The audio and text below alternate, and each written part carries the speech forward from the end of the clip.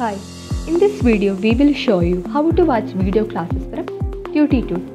Let's go to Google Chrome and type our site name www.tuteetute.com.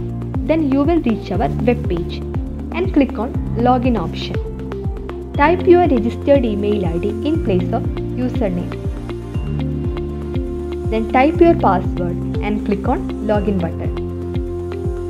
The OTP page will now open. The generated OTP will be received in your registered email ID. So without pressing back button, go to your email and check for the recent OTP.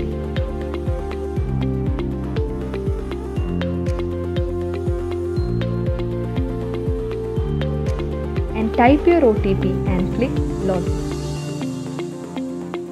After logging in, click on My Courses. Here you can see all the courses you have purchased. Here we will select Gate Electrical course. So click on it. Then you can see various subjects under Gate course. For an example, choose Electric Circuit. You can see 68 videos of that subject and name of the faculty who took the subject. Click on it. Start watching your video by clicking on any topic and then click on the play button.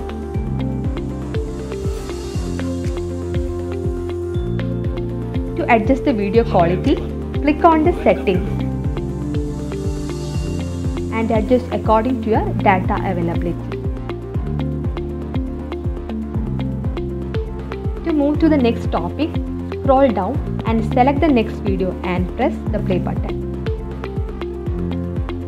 Click on back to courses to go back and you can choose any other subject. After viewing the classes, press the logout button. Thank you.